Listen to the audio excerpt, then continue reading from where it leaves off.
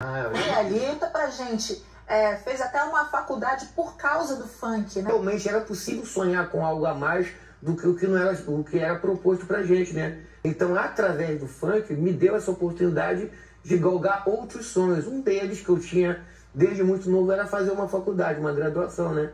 E por conta do funk, não só eu, eu, minha esposa, meus filhos, hoje nós temos é, a nossa maior riqueza, que eu sempre brinco, falo, é, ensino a eles, né? Que sucesso passa, Diego passa, mas a única coisa que a gente não pode perder, não tira na gente, é o conhecimento.